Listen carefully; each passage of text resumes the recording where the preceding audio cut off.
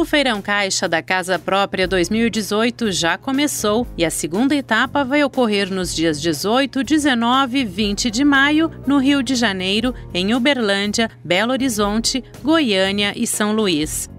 Confira os horários de funcionamento, descubra as melhores condições usando o simulador habitacional Caixa no site e vá preparado para o feirão.